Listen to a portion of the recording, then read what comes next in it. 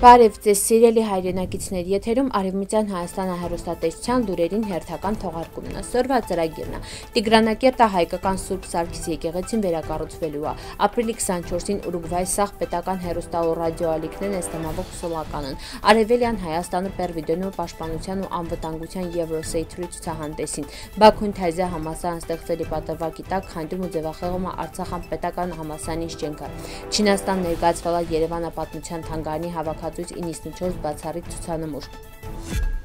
Արևմտյան Հայաստանը Տիգրանակերտ նահանգումը ավերակ տարած հայկական Սուրբ Սարգիս եկեղեցին վերակառուցվելու է։ Գործը այս տարվա հուլիսի 13-ին սկսել է։ Եկեղեցին վերականգնելի հետ երկանվախ ծրագիրամշակա Սուրբ Կիրակոս եկեղեցու հիմնադրամը վերնել հաստատվալա Թուրքիայի հուշարձաների խորհրդի կողմից։ Ծրագրի շրջանակում Թուրքիայի մշակույթի ու туриզմի նախարարության կողմից 5 միլիոն թուրքական ազգային արժույթ լիրա է հատկացվել, բայց հələ մի հատ էլ է գանարար պետք։ Հիշեցնիմ, եկեղեցին վնասն է ակրալ նաև 2023-ի փետրվարի 6-ին Թուրքիայում տեղի ունեցած ուժգին երկրաշարժին դարդան։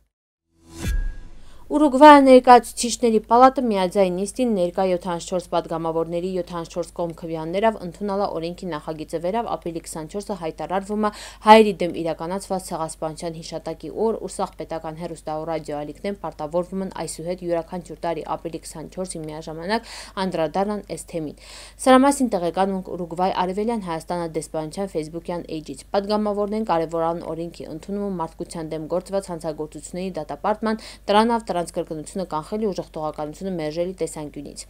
Նշալն անպատժելիության պայմաններում Բաքուն նախորդ տարի իրականացրել է Արցախը 120 հազար հայերի բռնի տեղահանումը, իսկ սորել շարունակում է մշակութային ցեղասպանությունը։ Պատգամավորն ընդգծալ են նաև իրանց հետի հպարտությունը վեր Ուրուգվայը առաջին աճինանչալ հայերի դեմ իրականացրած ցեղասպանությունը։ Իսկ Մհենգե Տերմը առաջին երկիրը աշխարհում վեր օրենքի ուժը պարտավորեցնում է պետական սախ հերոստա ռադիոալիքներին ամեն տարի ապրիլի 24-ի միաժամանակ անդրադառնալ այս թեմին։ Արևելյան Հայաստանը Պերվիդոնիում մասնակցելու է ցամաքային ու ցամաքահայության պաշտպանության ու անվտանգության Եվրոսեյթերի ցուցահանդեսի ներկայացման 2024 թվականի հունիսի 17-ից 21-ը Փարիզ։ Ցուցահանդեսը հյուրընկալելու է 1800 իվիլ մասնակցի 90 երկրամինգել մոտ 98000 այցելուի մասնագետի։ Սա հնարավորություն է ընձեռնելու հայկական այս ընկերություններին Պերվիդոնիումը ներկայացնել իրենց տեխնոլոգիաներն ու լուծումներն Եվրոպայի միջազգային ցուցահանդեսում պայմանագրեր կնքելի նպատակով։ Ցուցահանդեսին վաղտը GICAT տաղավարում տեղի է ունենալու Ֆրանս հայկական համաժողով նվիրված Արևելյան Հայաստան ակալիքներին պաշտպանության ոլորտում ու Ֆրանսիայի հետ ընթացիկ համագործակցությանը։ Արցախասախ հայաթափումանը յետը 2023 թվականի նոյեմբերի 23-ին Իլհամ Ալիևի հրամանագրավ ստեղծվալա Ղարաբաղը համասարանը վերը պիտի գործեր 2024 թվականի սեպտեմբերից Ստեփանակերտ քաղաքում Արցախի պետական համասարանի շենքում։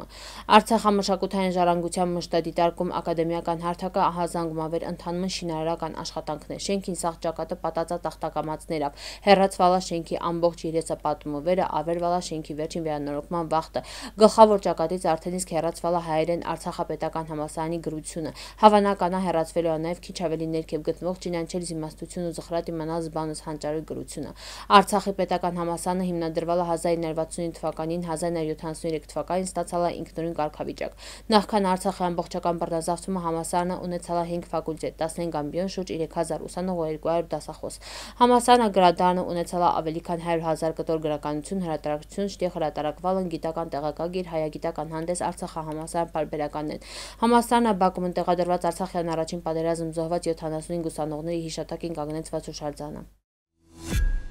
Չինաստան թանգարանի միջազգայինորու պետսվալա ծաղկացնռենի նոյի երկրից խորագրավ ցուցահանդեսը ներկայացվել Երևանը պատմության թանգարանի հավաքածուց 94 բացառիկ ցուցանմուշ 18-ից 20-րդ դարի ավանդական տարած գոր գարծաթյա զարդեր ասեղնագործություն սպասք։ Ինչպես տեղեկանում ենք հայ-չինական գործընկերության կենտրոնի տարածած հաղորդագրությունից Պետսման նորվանից ցուցահանդեսի օրական այցելուների թիվը գերազանցավ 10000-ը։ Պետսման արարողությունից հետո Երևանը պատմության թանգարանի փոխտնօրենը դասախոսությամբ ներկայացրել է Արեմեցյան Հայաստանը ու մայրաքաղաքի պատմությունն ու մշակույթը։ Ցուցահանդեսը գործելու է մինչև օգոստոսի 18-ը հայ-չինական մշակութային համագործակցության շղթայում շարունակելով կարևոր ավանդույթներ։